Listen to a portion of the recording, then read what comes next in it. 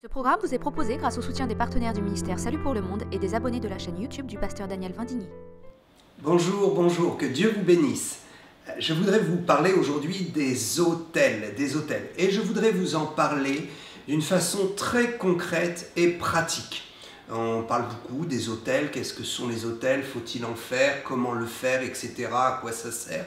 Je vais essayer de répondre euh, à ces questions et surtout, euh, mon objectif, c'est de vous permettre euh, de pouvoir passer à l'acte et de pouvoir aller d'une façon très très pratique dans l'exercice des hôtels et en tout cas l'acte de foi que nous appelons les hôtels. Alors, d'abord, je voudrais dire que la notion de construction des hôtels doit s'intégrer dans euh, la compréhension du renversement des hôtels. On ne construit pas d'hôtel pour Dieu, on ne prend pas de nouvelles décisions, on ne construit pas son avenir sans avoir fait le nettoyage euh, de son passé, en tout cas de ce qui reste dans notre présent du passé. Nous devons effectivement tirer un trait sur le passé et aller de l'avant. Il faut entrer dans sa destinée, ça c'est certain. Mais parfois, il y a encore des éléments du passé qui demeurent dans notre présent et euh, il faut absolument les renverser. Donc, euh, je ne parlerai pas aujourd'hui des hôtels que nous renversons. Cela fait partie du domaine de la délivrance. Renverser des hôtels, c'est euh, renoncer au mal, renoncer à l'héritage malsain, diabolique, euh, toutes les malédictions et l'héritage de malédictions que nous avons pu avoir de nos parents, nos grands-parents, des générations passées.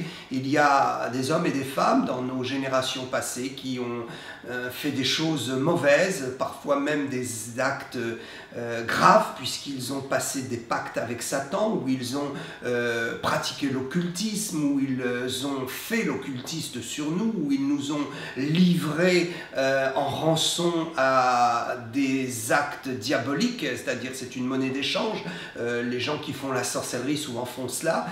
Comme monnaie d'échange avec Satan, ils livrent leurs enfants, leurs petits-enfants ou leurs arrière-petits-enfants et ils disent à Satan, tu me donnes aujourd'hui quelque chose et euh, moi je te donne le droit de prendre la vie de euh, mon fils euh, ou de son fils ou du fils de mon fils, etc. dans les générations à venir. Donc pour cela, je vous laisse juste un texte avant d'entrer dans le vif du sujet sur les hôtels que nous bâtissons pour Dieu. Ecclésiaste 3.3, il y a un temps pour abattre et un temps pour bâtir. Parfois, avant de vouloir commencer à bâtir, il faut commencer à faire du ménage. Donc le meilleur texte que nous pouvons trouver, en tout cas un des meilleurs textes, un des textes clés, c'est 2 rois 23, 12 à 15, où là nous voyons le roi euh, Josias qui va euh, euh, démolir, renverser des hôtels qui avaient été placés avant lui, des hôtels qui n'étaient pas adressés à Dieu et qui étaient des hôtels qui allaient amener des malédictions dans la nation. Alors je rappelle que Josias, ce qui veut dire feu de l'Éternel, était le 16e roi de Juda, il était successeur, successeur et fils d'Amon, 15e roi, qui était un roi euh, cruel et idolâtre. Voilà, donc vous pourrez lire euh, euh, cette portion de l'écriture, je répète, de Rois 23, 12 à 15, et vous en inspirer pour savoir qu'il faut aussi abattre des choses, renverser des choses, avant de commencer à construire durablement de nouvelles choses, faire table rase du passé et se dégager des malédictions. Mais ça, c'est, comme je l'expliquais, le domaine de la délivrance. Maintenant, d'une façon beaucoup plus concrète, nous allons voir que euh, Dieu nous invite à faire des hôtels qui sont euh, rien d'autre que des identifications d'engagement avec Dieu. Je pense que c'est bien de poser des actes et d'identifier sa dévotion, son engagement,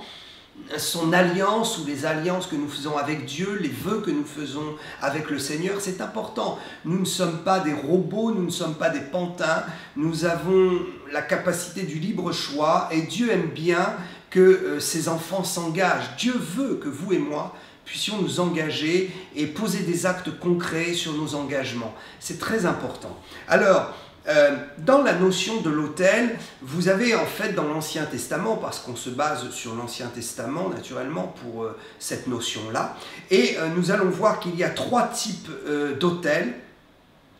le Mishbehar, comme on dit en, en hébreu, enfin comme disent nos frères hébreux, comme c'est écrit dans la Bible d'ailleurs, dans le texte d'origine. Alors, nous avons trois types d'autels. Il y a les autels qui ont été faits avant le temple, qui étaient donc en dehors du temple, et euh, d'ailleurs, même après, avec le temple, il y a eu quelques hôtels qui ont pu être faits en dehors du temple, mais euh, la notion d'hôtel a démarré, si vous voulez, en dehors du temple, avant que le temple ne soit. Et puis ensuite, il y a eu euh, les deux hôtels identifiés dans le temple. Alors, les hôtels hors du temple étaient des hôtels les, trois premiers, je vais vous citer les trois premiers, euh, qui étaient des hôtels essentiellement des hôtels de sacrifice. Parce que dans le temple, nous allons trouver deux types d'hôtels. Nous allons trouver l'hôtel des sacrifices, euh, qui est sur le parvis, et dans le lieu saint, euh, nous allons voir donc là l'autel des parfums. Mais ce n'est pas sur l'autel des parfums que nous allons sacrifier. L'autel des parfums ne sera pas vraiment euh, l'image et l'idée de ce que nous faisons. Nous nous faisons des autels pour Dieu. L'autel que euh, nous allons bâtir et les autels que nous bâtissons pour Dieu sont plutôt des autels à l'image de l'autel des sacrifices qui était sur le parvis. Et donc c'est pourquoi nous, nous, voyons que les autels vraiment très très importants et vraiment identifiés pour Dieu sont des autels de sacrifice. C'est là où vous sacrifiez des choses pour le Seigneur, c'est là où vous abandonnez des choses pour le Seigneur, où vous donnez à Dieu des choses afin euh, de pouvoir euh, être euh, plus léger et de monter plus haut vers la grâce. J'aime bien cette idée de la montgolfière où pour pouvoir prendre de l'altitude, il faut libérer des sacs. Donc nous avons tellement de sacs dans notre vie à, lâcher, il faut lâcher, sacrifier, donner à Dieu pour prendre de l'altitude. Alors, les trois premiers hôtels, vous pourrez euh, euh, méditer dessus si vous voulez, je vous donne les trois références. Il s'agit du premier hôtel euh, où, l'homme a sacrifié, c'est Abel, dans Genèse 4, 4. il sacrifia les premiers-nés de son troupeau et leur graisse, et ça plut à Dieu en opposition avec euh, l'autel qu'a fait euh, euh, son frère, qui malheureusement, Caïn, effectivement, on sait ce qu'il a fait, la jalousie qui l'a enflammé lorsqu'il a vu que Dieu portait un regard plus favorable sur l'autel de son frère, qui était un autel de sacrifice. Le deuxième autel, c'est Noé, Genèse 8, 20. Noé bâtit un autel à l'Éternel, il prit de toutes les bêtes purs et de tous les oiseaux purs, et il les offrit en holocauste euh, sur l'autel. Donc nous voyons là encore un sacrifice d'animaux, donc euh, la notion de l'autel des sacrifices, et puis ensuite le troisième que nous voyons apparaître dans la Bible, c'est l'autel, un autel de sacrifice, à ne pas confondre avec l'autel des sacrifices, je vais m'expliquer. Donc un autel de sacrifice que Abraham a bâti, Genèse 15, 17. Voici, ce fut une fournaise fumante, etc. Et les flammes euh, passèrent entre les animaux qui étaient partagés, les animaux qui étaient offerts à Dieu. Euh, nous avons donc ces autels de sacrifice en dehors du temple qui vont euh, nous inviter aussi à faire nos propres autels. Donc comme je le disais, il y a l'autel avec un grand A, si on peut dire ainsi, des sacrifices dans, sur le parvis du temple qui étaient destinés à la purification des péchés et qui étaient destinés à identifier prophétiquement euh, l'autel de la croix où Jésus sera sacrifié par Dieu, l'agneau de Dieu, immolé pour nos péchés. Et donc cet autel des sacrifices euh, nous euh, renvoie à l'image personnelle des sacrifices que nous faisons pour Dieu. Dieu a fait des sacrifices euh, en Israël, donc les sacrifices d'animaux euh, étaient reçus par Dieu pour le pardon des péchés. Dieu a fait un sacrifice, le sacrifice de son Fils, pour nous donner la vie éternelle. Et nous aussi, nous utilisons euh, des hôtels, nous faisons des hôtels virtuels, je vais vous expliquer comment. Euh, nous faisons des hôtels où nous sacrifions pour Dieu en reconnaissance à la vie éternelle qu'il nous a donnée et également pour euh, nous approcher plus près de lui et motiver, dynamiser aussi notre foi. Alors, donc, dans le temple, il y avait euh, ces deux autels. On peut prendre Exode 30, 26, 29. Tu oindras, donc il fallait oindre avec l'huile, la tente d'assignation et l'arche du témoignage, la table et tous ses ustensiles, le chandelier et ses ustensiles, l'autel des parfums, l'autel des holocaustes et tous ses ustensiles. Euh, l'autel est réellement un lieu qui est béni et oint la puissance du Saint-Esprit. Chaque fois que vous sacrifiez quelque chose pour Dieu, il y a vraiment une onction particulière qui vient sur votre sacrifice et Dieu honore cela. C'est comme euh, une bonne odeur qui monte euh, vers les narines de sa royauté. Voilà, si je puis m'exprimer ainsi. Alors, donc, euh, dans le temple, dans le lieu saint, il y avait l'hôtel des parfums. Ce n'était pas un hôtel où on sacrifiait vraiment. C'est un hôtel plutôt où on, venait pour des actions de grâce et donc pour maintenir en permanence euh, une bonne odeur qui est l'image de la prière, donc cette bonne odeur de l'image de la prière qui était euh, constamment devant le Seigneur dans le lieu très saint. Et donc ce n'est pas de cet hôtel-là que nous allons parler, nous l'avons compris, c'est de l'hôtel euh, des sacrifices qui était sur le parvis. Et nous allons prendre idée-image, donc sachez que les hôtels que vous allez faire pour Dieu ne se substituent en rien, mais absolument en rien, à l'autel des sacrifices euh, qui appartient à Dieu, où euh, Dieu a fait le sacrifice de son Fils pour nous donner la vie éternelle. Cela veut dire que tout ce que nous sacrifions pour Dieu ne peut rien rajouter euh, à l'œuvre de Jésus-Christ, à sa mort. Et ce n'est pas parce que nous sacrifions pour Dieu que nous allons aller au ciel. Mais c'est parce que nous allons aller au ciel par le sacrifice, l'autel du sacrifice de l'agneau, que à ce moment-là, nous, nous faisons aussi nos sacrifices pour honorer le Seigneur, pour marcher dans la sanctification. Alors, euh, pourquoi bâtir des hôtels? Eh bien, d'abord, les trois objectifs, je vais les citer. Il faut se souvenir, ça c'est le premier objectif. Souvenez-vous de ce que vous faites pour Dieu. Souvenez-vous des sacrifices que vous faites pour lui. Essayez de euh, euh, noter dans le cheminement de votre vie, dans l'histoire de votre vie, essayez de mettre essayer de mettre pardon, des panneaux indicateurs ou des bornes qui vont euh, permettre de se souvenir ce que l'on fait pour Dieu. Pourquoi? Eh bien tout simplement parce que c'est très encourageant, c'est très motivant pour notre foi et puis, euh, euh, c'est aussi une, manière de repousser le diable euh, en comptant les bienfaits de Dieu dans notre vie et en comptant aussi toutes les grâces qu'il nous a accordées pour pouvoir nous débarrasser du mal et sacrifier pour lui. Donc, ce souvenir, Deutéronome 8.2, souviens-toi de tout le chemin que l'Éternel ton Dieu t'a fait faire. Ça, c'est réellement une parole qui doit faire réma dans vos cœurs, dans l'idée de la construction des autels et dans l'idée de sacrifier pour Dieu. Souviens-toi, dit Dieu. Deuxième objectif de ces autels, poser des actes de foi. Je crois que euh, le chrétien n'identifie pas assez sa foi par des actes euh, posés et des actes identifiés et des actes visibles. C'est bien beau de dire d'avoir la foi, mais il faut, comme le dit Jacques, que euh, la foi soit manifestée par des œuvres.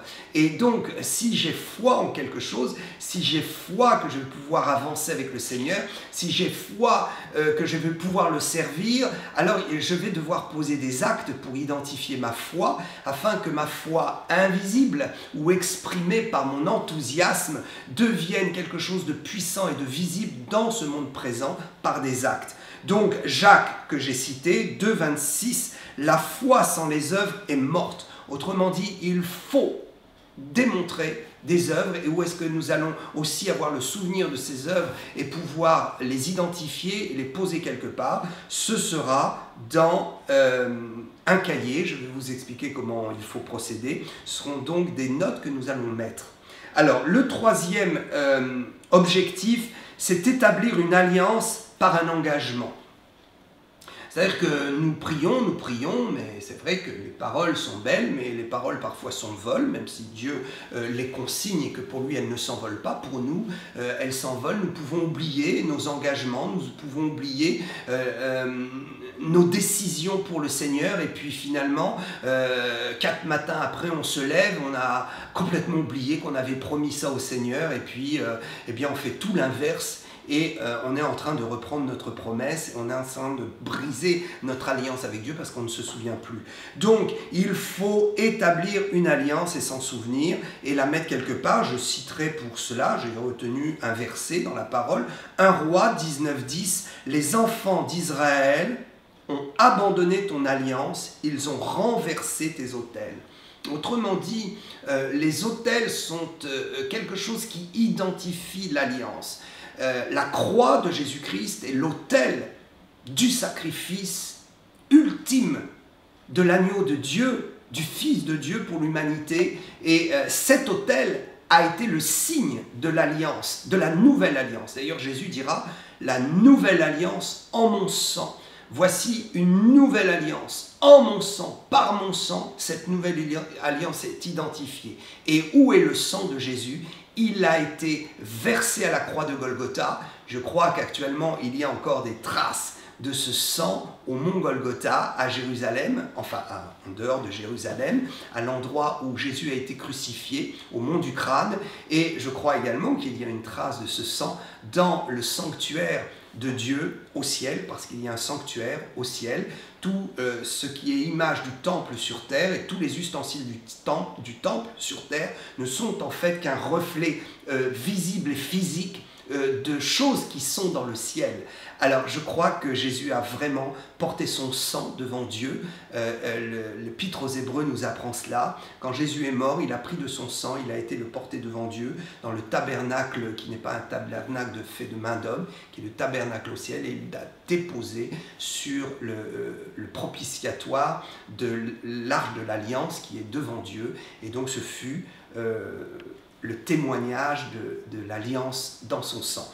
Donc sur terre, nous avons cet autel qui est l'autel de la croix. Bien, donc ça veut dire que si je veux faire une alliance vraiment avec Dieu, il faut que j'identifie ça quelque part dans un autel. Alors, ça c'est pour les trois objectifs pour que ce soit clair. Maintenant, d'une façon concrète. Dans l'Ancien Testament, euh, comment est-ce qu'ils faisaient des autels ben, Ils allaient, ils prenaient des pierres, euh, ils les mettaient les unes sur les autres ou avec du bois, mais souvent c'était des pierres majorité des cas, il euh, faisait donc un espèce d'autel, et puis sur cet autel, il sacrifiait un animal, il sacrifiait des choses, il, versait ce qu'on appelle des libations, donc des liquides, je vais expliquer, euh, et donc sur cet autel, ils offraient quelque chose à Dieu pour céder une alliance, un engagement, euh, ou pour d'autres choses que je vais expliquer aussi. Donc, dans l'Ancien Testament, c'était un acte physique, on prenait des pierres Maintenant, on ne va plus faire ça. D'abord, un, parce que le rituel n'existe plus, et ce serait vraiment un, outrage à la grâce de vouloir faire des rituels. Ce serait même à la limite euh, un peu euh, de l'occultisme, de dire je vais mettre un hôtel dans mon jardin. Vraiment, peut-être certains l'ont fait ou le font, mais je déconseille cela fortement. Ne faites pas cela. Nous sommes dans une dispensation de grâce. Nous ne sommes plus dans une dispensation euh, rituelle ce n'est pas euh, la chose matérielle qui produit le miracle, c'est la foi que nous dégageons par la puissance du Saint-Esprit en nous. Donc, on ne va pas faire des hôtels, on ne va pas faire un hôtel de bois, on ne va pas mettre un cadre, je ne sais pas, dans son salon ou autre. Euh, on oublie tout ça et on va identifier notre hôtel tout simplement à travers un cahier, car souvenez-vous, je vous dis qu'il faut se souvenir. Je vous ai donné les, trois objectifs et un des objectifs, c'est se souvenir. Donc comment on va faire? On va prendre un petit cahier bien propre, bien beau, qu'on a bien acheté, bien, on a mis un peu de, de, sous dedans. Ne prenez pas un cahier euh, bon marché, achetez-vous un bon cahier qui va durer avec des belles feuilles, etc.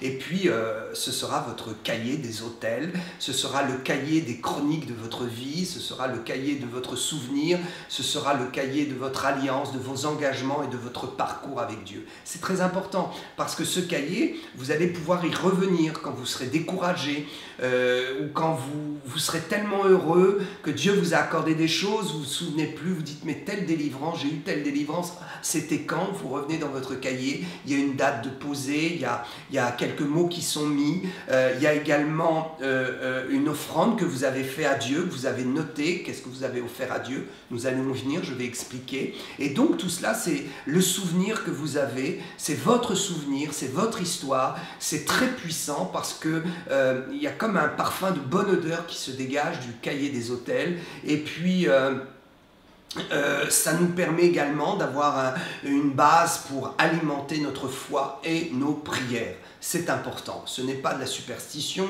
ce n'est pas du rituel, ce n'est pas de la magie, c'est tout simplement euh, de la bonne intelligence, de dire Seigneur, je pose spirituellement un autel devant toi, il est spirituel cet autel, il est devant toi, je viens mettre mon sacrifice et euh, sur cette terre, eh bien, j'inscris le reflet de cela dans un cahier pour avoir le souvenir. Alors ce cahier doit être intime, euh, ne permettez pas que tout le monde vienne lire dans ce cahier, il vous appartient, c'est votre jardin euh, privé avec Dieu, c'est votre euh, jardin euh, protégé avec Dieu, et euh, on n'a pas le droit d'aller fouiller comme cela dedans, c'est votre intimité avec le Saint-Esprit. Donc soyez prudent où vous le rangez et ne permettez pas que les enfants aillent lire ça ou que n'importe qui puisse l'ouvrir. Euh, il y a même des petits cahiers où vous avez une petite clé, comme ça vous êtes sûr qu'au moins euh, celui qui veut lire, bah, c'est pas facile parce qu'il faut qu'il aille chercher un trombone pour essayer d'ouvrir ou il faut qu'il casse la clé. Auquel cas vous serez informé que quelqu'un a violé votre espace de privé, de communion avec Dieu. Voilà. Donc ça c'est très très important. Donc, euh, pardon, excusez-moi. Donc il va falloir euh, bâtir l'autel spirituellement devant Dieu et il va falloir en donner le reflet et le souvenir concrètement sur terre en l'écrivant dans un cahier. Donc mon conseil c'est que vous preniez euh, une feuille pour un hôtel. Alors je vous le dis tout de suite, on ne fait pas des hôtels tous les jours. Il des gens qui, au bout d'une semaine, leur cahier est complètement rempli. Non, je crois que c'est très très sérieux. Euh, on, ne, fait pas des engagements avec Dieu comme ça tous les jours. Je parle des engagements sincères, des engagements puissants. Bien sûr, ils sont tous sincères, mais je parle de ces engagements qui euh, font prendre un tournant à votre vie. Je, parle également de ces interventions de Dieu qui ont fait prendre un tournant dans votre vie. Et donc, euh, ces interventions qui ont lieu dans votre vie, il va falloir remercier Dieu euh, et déposer un sacrifice pour sceller une alliance par rapport à la bénédiction que Dieu vous a donnée. Donc, dans ce cahier, vous allez avoir effectivement tous vos engagements, tous les sacrifices que vous allez faire pour Dieu, tous les grands tournants importants de votre vie, que ce soit des tournants que vous ayez produits, que ce soit des tournants qui soient à votre initiative ou que ce soit des tournants que la providence de Dieu vous ait fait prendre tous les éléments importants vont être inscrits. Donc, on ne va pas avaler une centaine de feuilles en un mois ou en un an. Je pense qu'une centaine de feuilles, peut-être, ce sera euh, toute votre euh, existence chrétienne sur cette terre. Donc, euh, n'allez pas mettre des choses de la vie courante ou de votre communion courante avec Dieu, allez mettre dans ce cahier vraiment des engagements précis. Par exemple, un hôtel, ça peut être, Seigneur, voilà, moi, je n'ai jamais prié plus de 10 minutes par jour dans mon culte personnel. Donc je vais faire un hôtel et je vais prendre un engagement, je vais faire une alliance, soit absolument maintenant, que tous les jours j'arrive à prier 10 minutes ou même prendre cinq minutes, mais fermer les yeux tous les jours et te prier et euh, te recommander par exemple ma journée ou au cours de la journée te dire merci ou le soir te dire merci, mais il faut que j'ai un temps avec toi.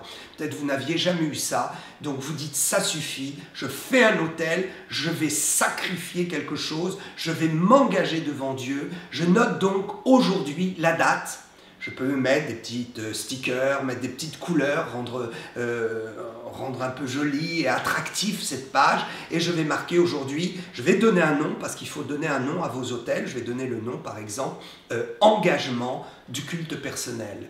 Voilà. Et là, je sais qu'à telle date, j'ai réglé le problème, je me suis engagé avec Dieu et je compte sur sa grâce. Et donc, je vais arroser cet hôtel avec une offrande. Nous allons y revenir. Quel type d'offrande, comment faire, etc. Et puis, peut-être dans un, un, mois, dans un mois et demi, ou dans 15 jours, j'en sais rien, ou dans 6 mois, euh, voilà que le Seigneur a fait euh, un miracle dans ma vie. Et donc, je vais bâtir un hôtel pour dire Seigneur, oh, tu m'as béni, tu as fait prendre un tournant à ma vie.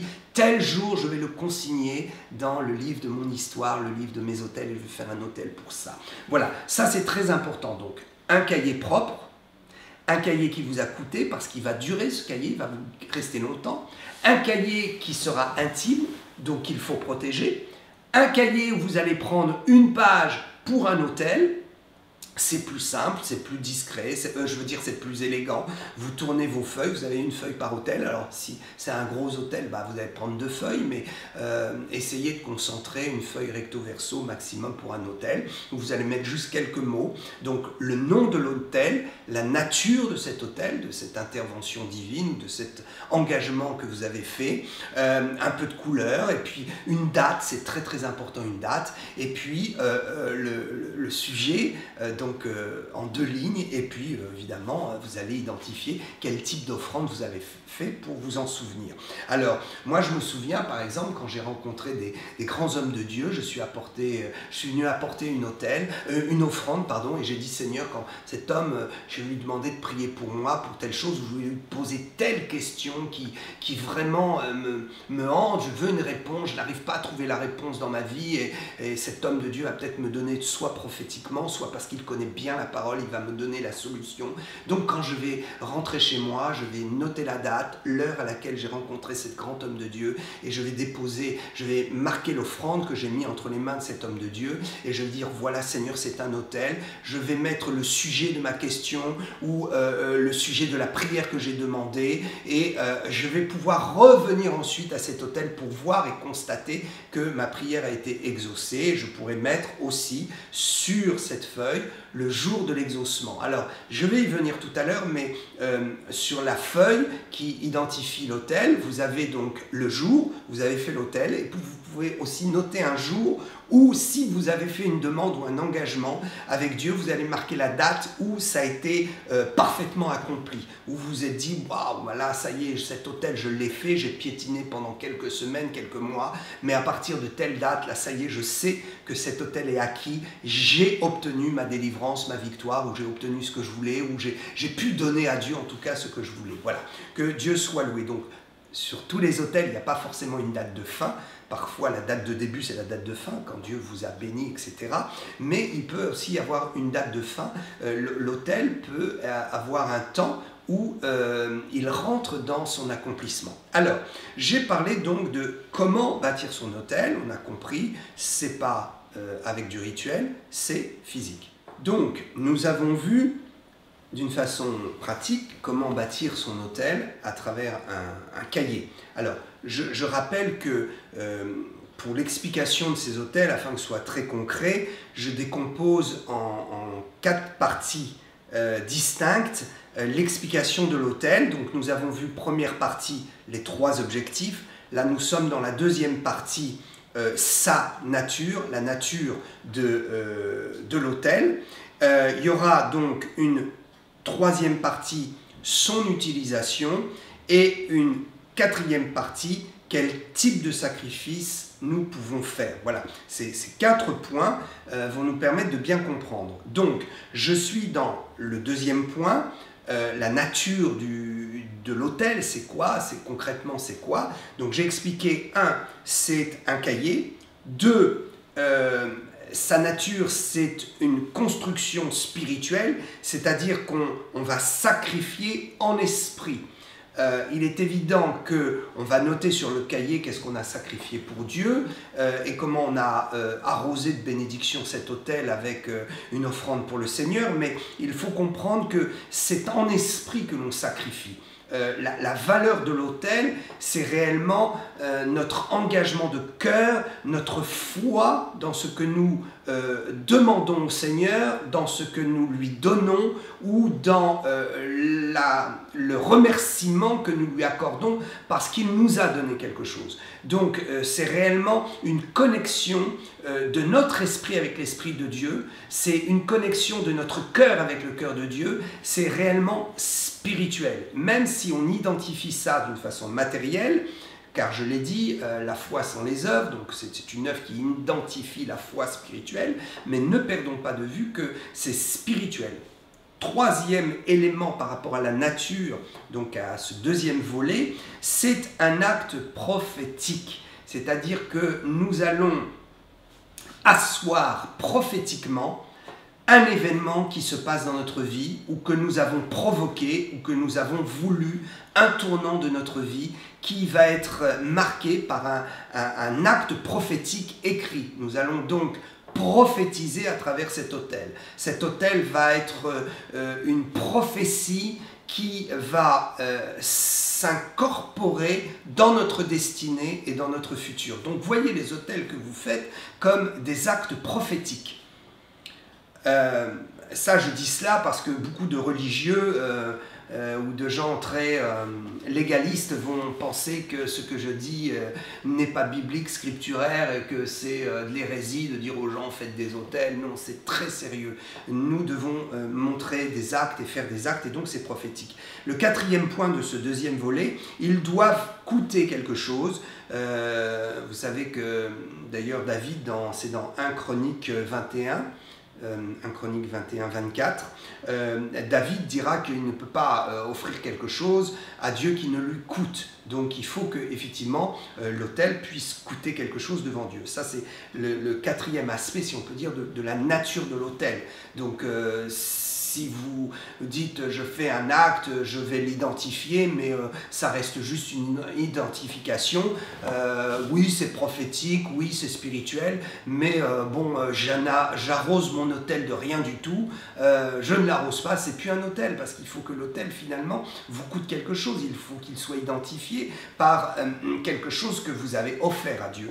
Et donc nous allons y venir dans le, les types de, de choses que nous pouvons euh, donner à Dieu. Donc, euh, premier, premier point, premier volet, nous avons vu l'objectif, les, trois objectifs. Deuxième volet, nous avons vu la nature, nous avons donc compris ce que c'est. Euh, ensuite, maintenant, nous en venons à son utilisation. Troisième volet que je voudrais expliquer. L'utilisation, eh bien, on utilise, j'en ai parlé brièvement pendant le volet 1 et 2, mais là je vais être un peu plus précis, on l'utilise pour demander une chose à Dieu, une chose quelconque, on, lui demande quelque chose, et euh, donc on fait un hôtel en disant Seigneur, si, si tu m'accordes cela, alors euh, je prends un engagement, ou Seigneur, même sans euh, avoir besoin d'une monnaie d'échange, en disant Seigneur, moi je ne vais pas dire je te donne ça si tu me donnes ça, mais je te demande une chose vraiment, c'est ma prière devant toi, donc je veux l'identifier, je veux faire un hôtel pour ça. Cet hôtel, je vais lui donner le nom de la demande que je te fais. Et je vais euh, donc euh, arroser ça avec un sacrifice, je vais faire un sacrifice sur cette demande pour vraiment identifier que euh, c'est du sérieux, je te le demande de tout mon cœur et je suis prêt aussi à arroser ma demande par un acte volontaire et par une une foi qui sera visible à travers l'acte que je vais faire, nous avons compris. Donc ça peut être une demande quelconque, ça peut être aussi l'engagement dans une, euh, un domaine de sanctification. Alors évidemment, on peut demander à Dieu, Seigneur, aide-moi à me sanctifier, mais là, on est plus que dans la demande, on identifie réellement euh, euh, un besoin de sanctification. J'ai un problème, je fume, j'ai un problème, j'ai une addiction, quelle qu'elle soit. Seigneur, je me mets en colère. Seigneur, au volant, c'est terrible. à chaque fois, un démon m'attrape, c'est parce que ma nature est comme ça, je me mets en colère ou autre. Voilà. Donc il y a des points identifiés dans votre vie qui sont des points que vous ne voulez plus voir. Euh, des comportements, des paroles que, que, vous voulez sortir de votre vie parce que vous dites il faut que je me sanctifie. Moi je suis un chrétien, je ne peux plus réagir comme ça. Alors comme c'est difficile, vous priez, rien ne se passe ou, ou c'est si lent, alors vous dites Seigneur je vais faire un acte supplémentaire. Dans mon cahier des hôtels, je vais mettre aujourd'hui tel jour de l'an de grâce, tant. Euh, voilà, je te fais cette demande et je vais faire un sacrifice en face cette demande pour appuyer ma demande et pour euh, moi-même participer à l'exaucement de cette demande. Donc nous allons voir dans un quatrième volet quel type de choses on peut sacrifier. Alors, donc un hôtel pour la sanctification, un hôtel pour une recherche de délivrance, vous avez euh, des rêves nocturnes qui sont très agressifs, diaboliques, euh, vous avez besoin d'une délivrance pour telle ou telle chose, il y a des choses qui se répètent dans votre vie, c'est toujours pareil, vous dites, ah moi, mon, père, ça faisait ça, moi maintenant dans ma vie c'est pareil, une histoire qui se répète, des, choses héréditaires comme ça, pourquoi? Eh bien vous allez faire un hôtel de délivrance, bien sûr, vous allez demander à ce qu'on vous prie pour vous, passer peut-être par des ministères qui ont le l'onction, le pouvoir, oui bien sûr, le pouvoir par la grâce et le don de délivrance, le ministère de délivrance, mais vous allez pouvoir aussi vous auto-délivrer et chercher votre délivrance vous-même en, faisant un hôtel de délivrance, en disant voilà, je mets un nom sur cet hôtel, c'est hôtel des délivrances, et voilà ce que je demande à Dieu, et, quel est mon hôtel C'est être délivré de ça ou de ça. Vous comprenez d'ailleurs que les cahiers d'hôtel sont euh, intimes et on ne peut pas euh, mettre ça entre les mains de tout le monde, c'est notre vie et c'est précieux. D'ailleurs, faites très attention.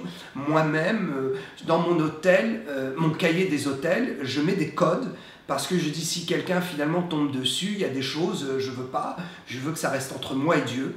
Donc pour éviter, je code. Et vous pouvez aussi coder, mettre des codes euh, que vous seul comprendrez ou vous souviendrez. ne mettez pas franchement des choses qui peuvent euh, euh, salir votre réputation si quelqu'un vous vole votre cahier. Soyez très prudent avec ça, je vous donne vraiment ce conseil, soyez très prudent avec ça. Quelqu'un peut vous voler votre cahier, voler votre intimité, dire ah regardez, euh, faire des photos ou autre, je ne sais pas.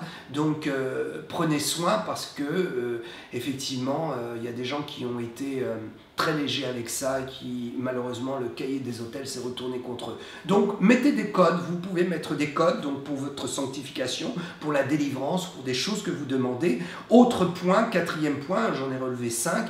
Autre point, euh, c'est une prophétie que vous, allez, que vous avez reçue, et donc vous faites un hôtel euh, pour dire voilà, Dieu m'a parlé, je veux me souvenir de cette prophétie, donc je la note et je fais un hôtel pour ça. Et pour rendre grâce à Dieu, je vais déverser sur cet hôtel une offrande, je vais euh, asseoir la prophétie avec une offrande. Donc nous, avons, nous allons trouver dans le cahier des hôtels euh, des pages où il va y avoir des demandes quelconques, des demandes diverses de, la vie chrétienne, de la vie courante, des demandes plus spécifiques sur la sanctification et des engagements de sanctification, des demande de délivrance et également des participations à la délivrance en disant voilà le problème, je, condamne ce problème et donc je, je, fais un hôtel de sacrifice devant Dieu pour que euh, cette délivrance soit euh, euh, ait lieu par mon acte de foi. Et puis, une prophétie ou une parole que j'ai reçue de Dieu, je fais aussi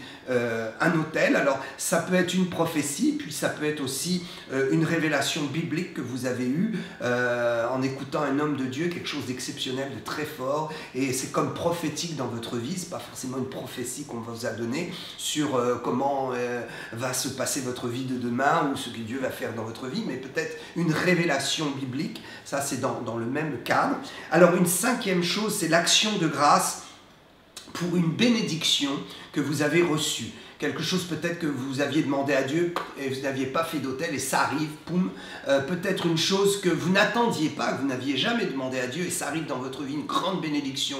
Vous dites Seigneur, là je dois aller, je dois faire vraiment un hôtel pour toi, je dois mettre un temps particulier pour te dire merci et je veux faire une offrande sur, euh, sur cette bénédiction que j'ai reçue, je veux marquer le coup, je veux me souvenir. Donc vous allez marquer euh, sur cette feuille d'hôtel bénédiction, quelle bénédiction vous avez reçue? Le jour et peut-être deux, trois lignes de circonstances. Voilà, ceci est important pour le souvenir, pour tout ce qu'on a évoqué euh, euh, dans euh, le, volet 1 et 2 d'ailleurs.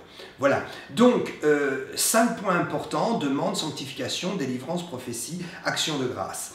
Alors, maintenant, il faut savoir, comme je l'ai expliqué, que sur ces demandes, vous allez aussi pouvoir mettre une date de début, une date d'accomplissement ou une date de fin en fonction effectivement euh, de la prophétie que vous avez reçue. Quand elle va s'accomplir, vous reviendrez à votre feuille euh, prophétique, etc.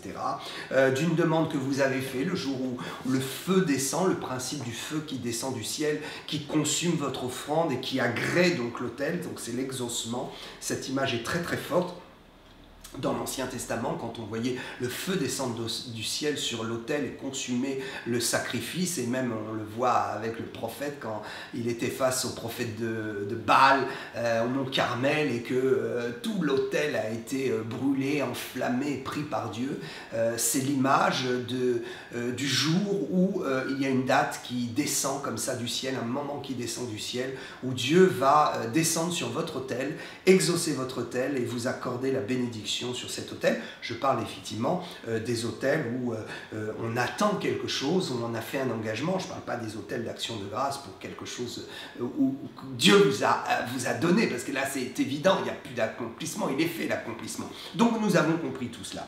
Donc quel type de sacrifice on va faire? Eh bien, j'ai relevé quatre points, mais je vais d'abord commencer par Romains 12, 1, euh, qui nous dit qu'on doit euh, offrir, offrez, offrez quoi à Dieu? Offrez vos corps comme un sacrifice vivant, saint, agréable à Dieu, ce qui sera de votre part un culte raisonnable. Donc, euh, il faut absolument se baser sur Romains 12, 1 pour comprendre le fondement de tout sacrifice. Le sacrifice, l'autel des sacrifices, c'est un l'engagement de votre personne, c'est l'engagement de votre vie, c'est ce qui vous concerne vous, n'est pas ce qui concerne un autre. Bien sûr, si euh, vous êtes lié à l'affaire d'un autre, alors ça devient votre affaire. Mais je parle de ce cahier intime, de ce cahier des souvenirs qui est votre histoire. N'oubliez jamais que sur les hôtels que nous bâtissons, nous devons voir un résultat de sanctification, d'avancée vers Dieu, de euh, brisement de notre personnalité mauvaise, pécheresse. Il y a des bons sentiments, il y a les mauvais. Il y a les sentiments que nous devons euh, développer en Dieu et les sentiments que nous devons crucifier parce qu'ils sont issus de la chair et de la vieille nature. Il y a... Euh, euh, pardon, aussi euh, des, des, comportements que nous avons, que nous devons sacrifier pour Dieu, que nous devons crucifier. Le, la notion de sacrifice est réellement la notion du christianisme.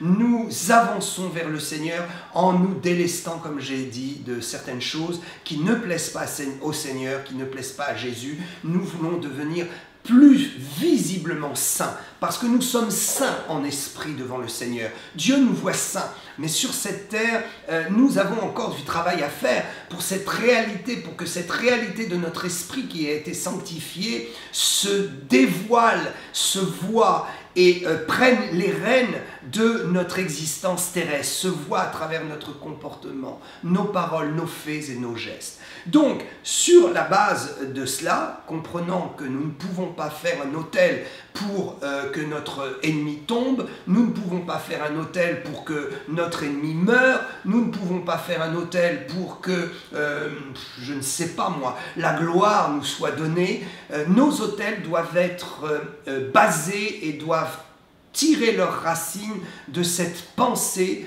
de notre sanctification, de la crucifixion de notre personne, de notre vieille nature. Quand je dis notre personne, c'est la vieille nature, parce que nous sommes libres en Jésus et nous devons, euh, nous devons aussi euh, euh, faire évoluer nos, nos sentiments pour Dieu, nos sentiments avec Dieu, notre personnalité avec Dieu. Surtout, ne détruisez pas votre personnalité avec Dieu, mais au contraire, rendez-la plus utile par la grâce de la liberté que nous avons en Christ. Alors, les quatre choses donc que nous pouvons euh, amener pour euh, donner une valeur à notre hôtel, ce sont des sacrifices. Alors, nous pouvons effectivement, le premier truc qui vient à l'esprit, la première chose, c'est l'argent, bien sûr. Mais je vais partir du plus bas vers le plus haut, parce que finalement, l'argent, ça, ce n'est rien. Euh, on en a, on n'en a plus, Dieu nous en donne, euh, on en perd, on en retrouve, mais l'argent passe et finalement l'argent n'est qu'une valeur euh, euh, très très très temporelle mais elle est importante. Elle est importante parce qu'elle identifie aussi euh, notre pouvoir sur cette terre, notre pouvoir d'achat, notre pouvoir d'action, parce que sans argent, on ne peut rien faire. Et donc, quand nous sommes bénis, Dieu nous donne l'argent pour pouvoir accomplir ce que nous devons accomplir. Donc, c'est un élément important. Il ne faut pas euh, considérer ça comme un tabou. Si vous faites un hôtel pour Dieu, souvent, vous allez donc dire, je donne de l'argent pour euh, asseoir cet hôtel pour faire un sacrifice, parce que donner de l'argent, c'est un sacrifice. Euh, bon, il y en a qui ont de l'argent facile, sont bénis, mais c'est quand même un sacrifice de donner ses biens. Et puis il y en a qui gagnent durement, durement leur vie, et c'est un sacrifice parce que c'est la sueur de leur travail, etc. Donc, si peut-être vous avez, euh, je prends un exemple, un prophète qui vous a prophétisé, vous faites un hôtel, vous allez dire Seigneur, je vais donner, euh, donc je vais arroser cet hôtel avec un sacrifice, je vais donner une enveloppe, je vais donner une offrande à ce prophète, évidemment, vous n'allez pas le donner à un autre prophète puisque c'est lui qui a été la source de cet hôtel, peut-être un homme de Dieu qui a déclenché quelque chose dans votre vie par la parole, la révélation, euh, votre vie a été bouleversé. Ce jour-là, vous avez reçu un réma, ça a changé quelque chose, vous faites un hôtel, et, là, eh bien, vous dites, Seigneur, je vais donner une offrande. Oui, il faut donner une offrande au serviteur ou à la servante qui euh, a été l'instrument de Dieu euh, pour cet hôtel. Donc, je fais un sacrifice, et faites un sacrifice qui coûte. N'allez pas donner 5 euros ou 10 euros, tout le monde est capable. Je veux dire que, bon, donner une offrande de 5 ou 10 euros, ou même 2 euros, c'est une bénédiction. Mais pour un hôtel, euh, essayez quand même de donner quelque chose qui vous coûte, selon euh, euh, le texte que j'ai lu de 1 Chronique 21-24. Alors, on peut donner de l'argent. Ensuite, qu'est-ce qu'on peut faire? On peut donner un objectif, un objectif de vie un engagement à Dieu. Voilà, Seigneur, sur cet hôtel, c'est un hôtel de sanctification pour tel point, soyez très précis dans vos hôtels, soyez pas trop généralistes, ne soyez pas large, essayez d'être le plus précis possible. Donc, par exemple, Seigneur, je veux me sanctifier sur tel point, donc je fais un hôtel, euh, voilà, je prie et, évidemment je vais arroser cet hôtel d'un sacrifice, eh bien, je vais prendre l'engagement, un engagement de faire quelque chose, ou euh, d'arrêter de faire quelque chose, ou de prendre une habitude dans ma vie qui va aller à l'encontre de ce problème-là de sanctification.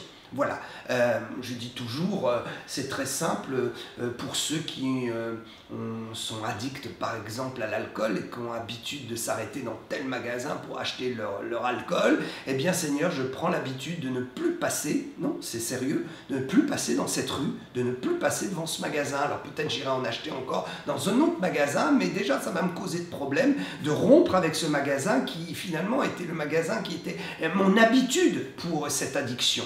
Donc je vais un engagement, je vais faire avoir un objectif. Ça, c'est moi qui pose cet objectif. Alors, on peut cumuler effectivement plusieurs sacrifices. Vous pouvez dire, je marque un objectif et je marque aussi une enveloppe que j'ai donnée à un homme de Dieu, à une œuvre.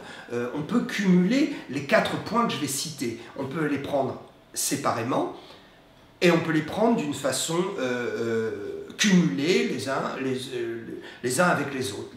Bon, voilà, l'argent avec l'engagement, etc. est ce que je vais citer. Alors, je voudrais tout de suite dire une chose. Euh, c'est vraiment pas honnête. Certains qui parlent des hôtels disent que systématiquement, il faut arroser l'hôtel avec une offrande d'argent. Je ne suis pas d'accord avec ça. Et euh, je trouve que c'est, c'est pas bien de dire cela parce que euh, effectivement, ça veut dire faites des hôtels surtout et donnez-moi votre offrande. Et ça, c'est pas bien je crois que devant Dieu, effectivement, il faut comprendre que parfois le Saint-Esprit va vous conduire à donner de l'argent, mais ce n'est pas, ce n'est pas le seul sacrifice que l'on fait sur un autel. Et euh, en tout cas, même s'il revient souvent, ce n'est pas une obligation. Et je le dis haut et fort. Soyez décontractés avec ça. Il vaut mieux que vous donniez, que vous arrosiez votre hôtel avec un engagement que vous allez écrire en disant voilà, maintenant je ne ferai plus ci, je ne ferai plus ça. Ça, c'est un sacrifice personnel, c'est l'offrande de votre corps. Euh, ça a une grande, grande valeur devant Dieu. C'est pour ça que je le mets déjà au niveau numéro 2. Euh, je vais mettre au niveau numéro 3, après vous pouvez classer naturellement dans l'ordre de, de privilèges, en fonction de ce que vous sentez, vous vivez, dans l'ordre d'importance selon ce que vous vivez. Euh, moi, je classe comme ça, mais on peut le classer différemment. Mais à mon goût, c'est, à mon sens, c'est le meilleur classement. Le troisième niveau, donc nous avons parlé un d'argent, deux d'objectifs. Trois, nous allons faire des jeûnes. Oui, il faut faire des jeûnes. Et croyez-moi que parfois, un hôtel arrosé d'un jeûne est plus puissant qu'un hôtel arrosé d'une enveloppe à quelqu'un d'une offrande à une œuvre ou je ne sais quoi. Euh, le jeûne est très très très important, ça coûte. Donc vous allez dire Seigneur, par exemple, j'ai fait un hôtel, tu as fait une chose dans ma vie que je n'attendais pas, c'est le bonheur complet, je suis tellement heureux, tel jour, telle heure, ou tel jour, ou telle semaine, j'ai identifié quelque chose que tu as fait dans ma vie, je suis tellement heureux, je, je veux te dire merci, je fais un hôtel pour me souvenir, etc., tout ce que nous avons expliqué. Et donc, je vais arroser cet hôtel de quelque chose qui me coûte pour te dire merci. Je vais faire un jeûne de remerciement pour cette chose extraordinaire. Et prophétiquement, vous allez asseoir dans votre destinée, dans le futur, vous allez asseoir cette bénédiction et vous allez neutraliser aussi toutes les puissances du diable qui voudraient vous faire euh, déchoir de cette grâce. Donc, euh, un jeûne, je recommande mon livre sur le jeûne à ce sujet, le livre sur le jeûne qui est très très important, très bien, euh, très pratique qui vous aidera à comprendre comment on fait un jeûne et, comment on peut placer même un jeûne dans un hôtel. Je rappelle que tous mes livres sont disponibles en e-book sur Amazon et la FNAC. Mais euh, Amazon, c'est très pratique. En tout cas, je ne vais pas faire la pub d'Amazon, mais beaucoup de gens, en tout cas plus de gens ont des comptes peut-être à Amazon qu'à la FNAC.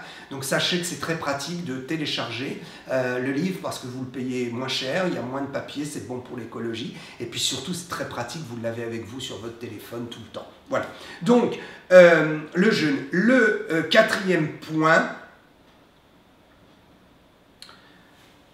va toucher la personne même, votre personne, vos désirs personnels. Vous allez, ce quatrième point, c'est d'offrir à Dieu euh, une chose qui vous tient vraiment à cœur, qui est dans votre vie, une chose qui fait partie de votre existence, mais vous savez que Dieu vous a demandé de lui donner.